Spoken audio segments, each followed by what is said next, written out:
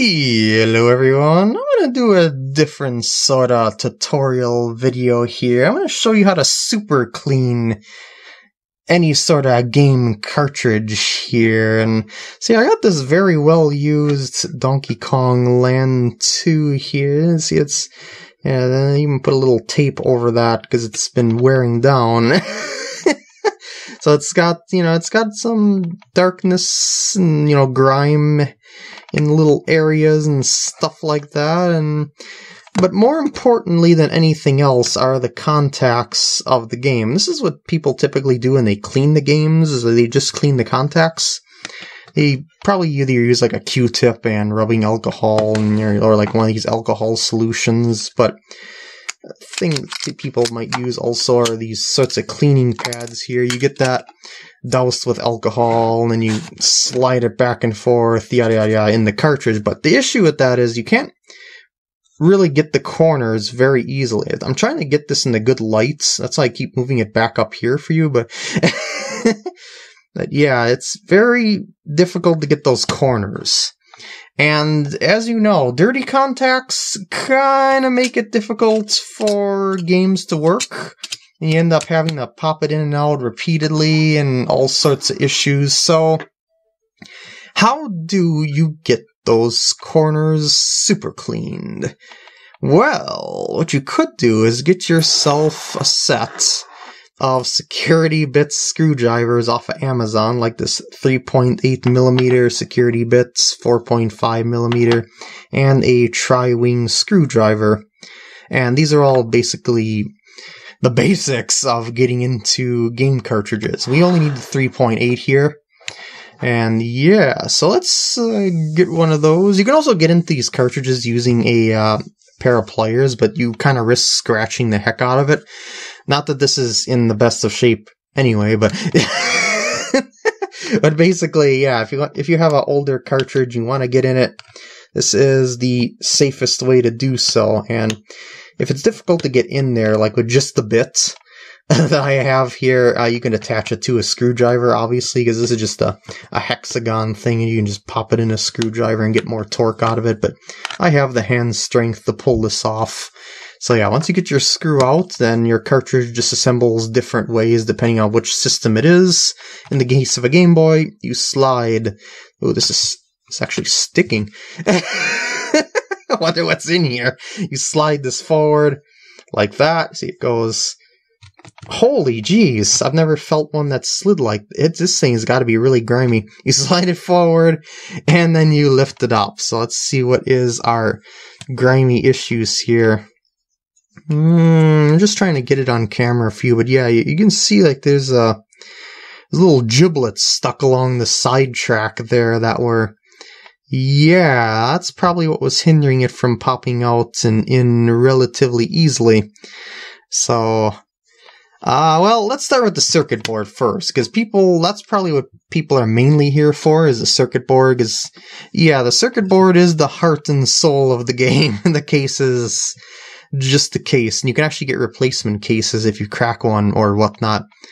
Uh, but yeah, anyway, uh, see that the the pins on there, that's the thing that you're looking to clean mainly. And as you can tell, there's some black on there from putting the cartridge in and out, just general dirt and grime over the, over the years of use. And while you could use rubbing alcohol, I prefer just Mr. Clean Magic Eraser. This is a really well used one. And just plain old water, just dampening it. And you go over the contacts carefully. Don't don't touch the chips if you can help it. and just go and just hold it by the very sides because you know you don't want to don't want to put your hands on the chips and get oils on them and stuff like that. I've never really seen the issues happen if someone did touch those. You know the chips with their bare hands or anything like that, but it's recommended that you don't, and I, I'm inclined to believe the electricians out there. so I'm just kind of going to focus on doing it the quote unquote right way, I guess you could say. And then, yeah, that looks pretty clean already. The Mr. Clean Magic Eraser does short work of contacts. so I'm going to show you this up in the light here. Aside from the scratches that you can see from putting the cartridge in and out, actually there aren't that many scratches. It was just grime that we've seen there. Look at that. yeah, this cartridge should work as good as new now, but we're super cleaning this, aren't we? So we're gonna take a look around the circuit board and see if there's any more dust and grime. Like it looks like there's something spilled in here at one time. See the very, very edges of this here? Uh, I don't know if you, yeah, you see those little droplets? It look, it looks like something got in there at one time. So this is probably the point where you'd like to use some of that alcohol. I got it a little bit saturated here on this. Yeah, and just go over Mm, maybe I need a little more saturation. it dry a little bit between my uh, setup here. That's okay though. And uh, I touched the contact a little bit there, but well, I mean, oh, it's okay to use alcohol on the contacts like that too, but it's it's just that I find a Mister Clean with water does it well as well. If you don't have that sort of thing, Mm, that side looks pretty good. Let's take a look at. Oh yeah, there's definitely some. Ooh, ooh, ooh. Okay, maybe I should get the Mister Clean for this side. so we're just gonna go over that. I'll do one half at a time. Here, you notice I'm trying to move the cartridge at the right angle so that you can see what the heck I'm doing. I got the light source right above here because I need to be able to shine the light on things to be able to actually accurately show you stuff. But the way that my setup here is, it's kind of difficult to film and do work on it. So it's fine for an example video though, but this is not the ideal way that I would be cleaning cartridges, let me tell you. so okay, let's get the, ooh, oh, oh. let's get this out of here. Hmm.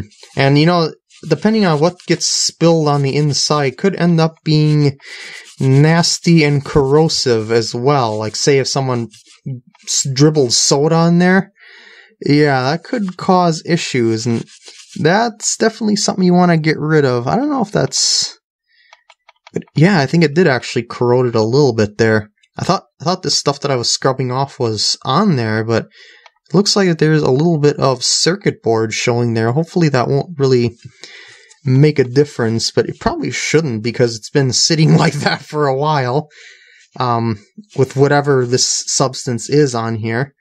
Maybe I should put a little alcohol here. That's not, not really going to hurt anything. It might actually help get some of the... Yeah. Mm, makes like a squeaking sound. It's like squeaky clean. and I like having a, a cloth underneath here because it's it keeps it all, um, you know, and you don't have to worry about scratching things or anything like that. And okay, that looks, I guess, as good as I'll get it for the internals because I think this is all like light corrosion of sorts on the finish. But yeah, as long as I get the, the corrosion stuff off of there, it should keep running like new. I mean, I guess I could put electrical tape over that because it's not going to affect the way the game plays. This is on the backside, but yeah, I figured should be fine. I think probably. So let's just set that aside here, and now we're to work on. Oh, oh, this. This was this is actually come to think of it behind this because this is how it fits in. Yeah, it fits in just like this. It drops into the bottom portion first. So this was actually underneath this. So that's the corrosive stuff or whatever that got into, yeah. Ugh. Ugh. Okay, so let's, uh, we need to get rid of that. so let's start working out that here. And yeah, I wonder if I should be using this or maybe something less abrasive than a tissue. I mean, a tissue isn't really that abrasive, but it's it might scratch the finish slightly. But this is on the inside of the case, so it doesn't really matter all that much, I guess. But yeah, wow, this is this is way more than I bargained for. Especially since I had difficulties even sliding the case apart. So that's like, what the heck happened to this poor thing at one point? well, at the very least, once we're done with it, it's going to be working as good as new, hopefully. the uh, contacts, you know, where the the cartridge actually connects to the game system itself are the main things that you want to be cleaning over anything, I guess. But it doesn't hurt to do a thorough clean thusly that I, like what I'm doing right now. As I said, this is like a super thorough cleaning of how to get these cartridges looking and feeling pretty good here.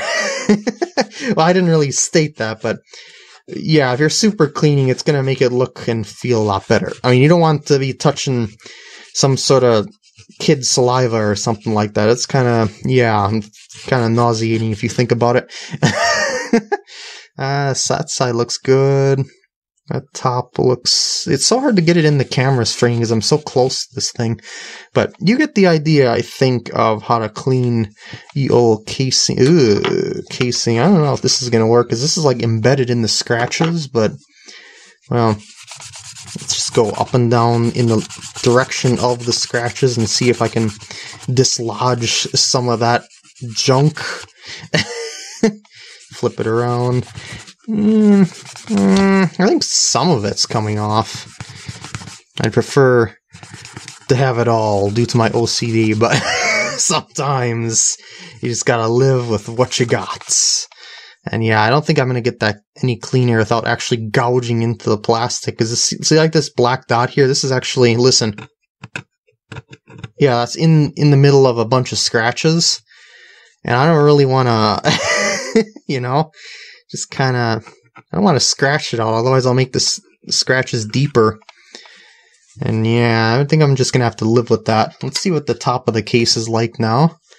Uh, that's actually not that bad looking. You see that? It's it's glossy, it's clean. It's just like it's all on the other side for the most part.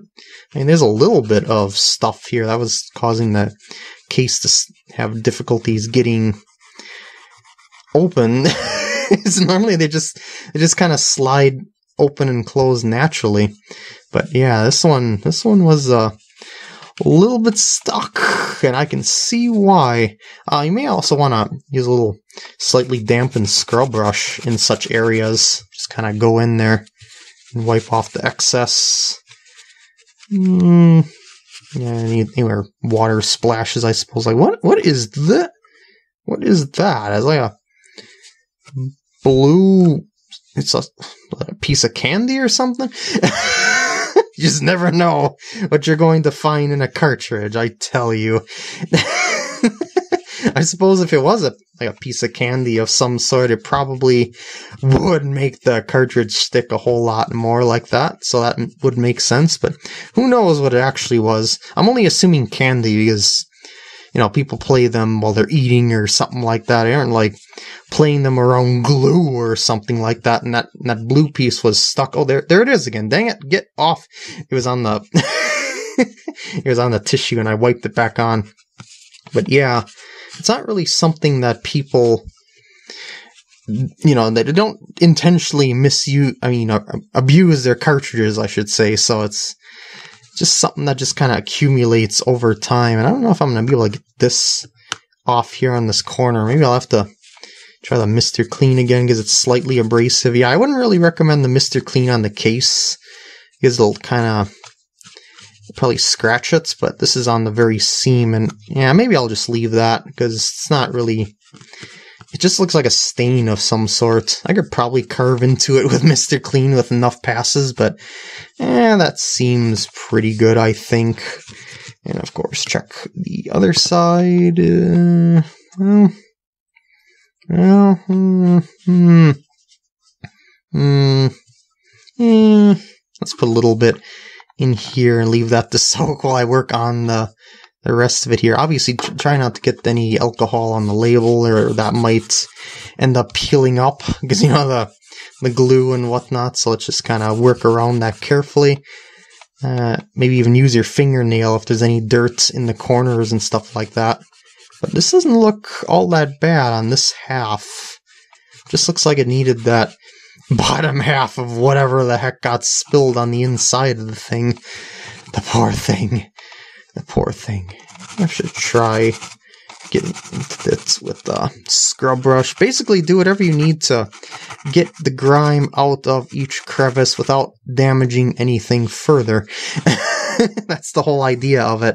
And just try and do stuff gradually, you know, until you really have to get into it. You know, just do it gradually so that you don't have to, um, like you're not rushing or anything like that because you don't want to kind of rush it and then you end up scratching the case or maybe putting too much pressure and cracking the case. I don't know. it's actually pretty hard to genuinely break a case uh, or any sort of Nintendo game or game cartridge for that matter, I should say, because they're, they're built pretty tough. They're built for chucking into your backpack on a hiking excursion across rugged terrain in all sorts of humidity and stuff like that. So All right, I'm gonna I'm gonna just say for the sake of the video that's clean because my OCD is gonna be all over that all day long. So let's just put this back together and we just reverse the steps.